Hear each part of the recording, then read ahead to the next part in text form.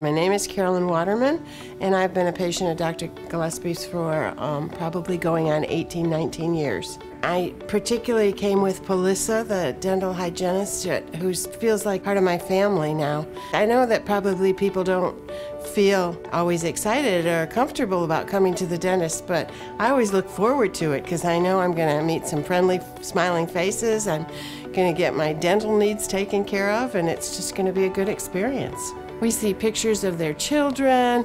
We see a little play area.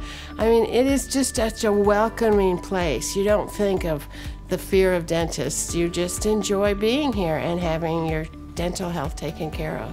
I know what it's like to move to a new place and have to find new doctors and dentists, so sometimes I don't wait for somebody to ask. I just say, if you don't have a dentist yet, you've got to try dynamic dentistry and you'll be with them for a long time.